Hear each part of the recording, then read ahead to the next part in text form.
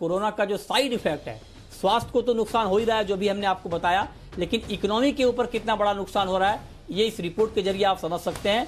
और रिपोर्ट में कहा गया है कि बैंकों के एनपीए को लेकर बड़ी चेतावनी दी गई है, यानी जो बैड लोन होते हैं वैसे लोन जो डूबने का खतरा होता है, उसको लेकर कड़ी चेतावनी दी गई है। आरबीआई ने कहा है कि कोरोना संकट के चलते एनपीए में भारी बढ़ोतरी हो सकती है, यानी बैड लोन में बैड लोन में भारी बढ़ोतरी हो सकती है। साथ ही आरबीआई ने यह भी कहा कि इकोनॉमी के पटरी पर लौटने में अभी लंबा वक्त लगेगा।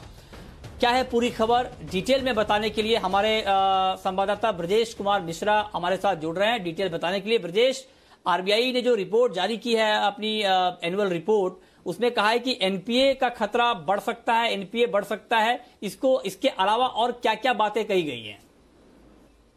सबसे अहम बात यह है जो आरबीआई की एनुअल रिपोर्ट में कही गई है कि ये 2008 के संकट के मुकाबले ये जो मौजूदा संकट है कोरोना का संकट ये काफ़ी घात 2008 की जो दिक्कत थी वो फाइनेंशियल इश्यूज़ को लेकर दिक्कत थी लेकिन यहाँ सेहत से जुड़ा मामला था और आ, मामला है और इस वजह से इकोनॉमी को पटरी पर लौटने में काफ़ी लंबा वक्त लग सकता है और थोड़ी बहुत जो रिकवरी अगर दिखेगी भी आ, वो सिस्टम में नकदी बढ़ने की वजह से दिखेगी लेकिन जब तक कोई पक्का इस बीमारी का इलाज नहीं आ जाता तो दुनिया भर की अर्थव्यवस्था के लिए इसका जो खतरा है, वो बरकरार रहेगा। भारतीय बैंकों के बारे में एक जो अहम ऑब्जर्वेशन है, रिज़र्व बैंक का ये है कि जो एनपीए है बैंकों का, यानी डूबा हुआ कर्ज है, वो करीब डेढ़ गुना तक बढ़ सकता है सामान्य स्थिति में अगले साल की जो अगले साल मार्च अगले साल मार्च तक।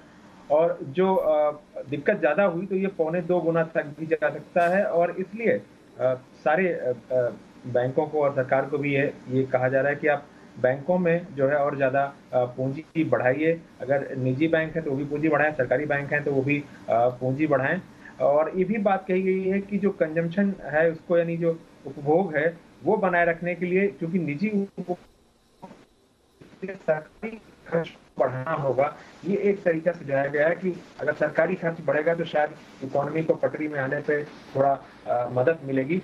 और साथ ही ये भी कहा है कि जो कोरोना से नुकसान हुआ है इसका अंदाज़ा अभी लगा पाना कठिन है। तो ये आ, कुछ अहम जो है ऑब्जर्वेशन है रिज़र्व बैंक की एनुअल रिपोर्ट में। तो इसको लेकर के जो है सरकार को ये भी हिदायत है कि जो टैक्स की वसूली है उसकी प्रक्रिया को बेहतर किया जाए। खासतौर पर जो टैक्स डिफॉल्टर्स हैं उनको उनसे किस तरह से तकनीक का इस्तेमाल करके और दूसरे जो रास्ते हैं वाजिब रास्ते हैं उनसे उनका इस्तेमाल करके किस तरह से सरकार को टैक्स आमदनी बढ़ाने पर फोकस करना चाहिए? हम्म, ठीक बात है। ये डिटेल में और आसान भाषा में ब्रजेश ने आपको बताया कि आरबीआई की रिपोर्ट में बड़ी बातें क्या कही गई हैं। तो तो बड़ी बातें एक तो ये कि एनपीए बढ़ने का खतरा है दूसरा ये कि जो कोरोना से डैमेज हुआ है इकोनॉमी को जो नुकसान हुआ है, उसको रिकवर होने में लंबा वक्त लगेगा। और नुकसान एक्चुअली में कितना हुआ है, इसका आकलन अभी नहीं हो पाया है। तो ये तमाम बातें कही गई हैं। आरबीआई की सालाना रिपोर्ट में बहुत शुक्रिया ब्रजेश आपका इस पूरे डिटेल के लिए।